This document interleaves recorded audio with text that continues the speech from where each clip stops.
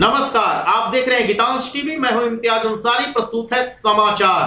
बंसीधर नगर पंचायत क्षेत्र के डुबाट टोला पर मंगलवार को पूर्व वार्ड सदस्य राजीव कमलापुरी ने अपनी दादी स्वर्गीय लक्ष्मणिया साहुन की पुण्य स्मृति के दर्जन भर असहाय वृद्ध एवं दिव्यांगों के बीच कंबल का वितरण किया। कंबल वितरण कार्यक्रम का मुख्य अतिथि नगर उटारी थाना प्रभारी निरंजन कुमार के द्वारा कंबल वितरण किया गया। इस मौके पर थाना प्रभारी श्री कुमार ने बताया कि इस कड़कड़ाती ठंड में जरूरतमंद लोगों के बीच कंबल का वितरण पुनीत कार्य है। इससे बुज़ुर्गों को काफ़ी राहत मिलेगी। उन्होंने कहा कि दिनहीनों की मदद ही असल मायने में सच्ची समाज सेवा है।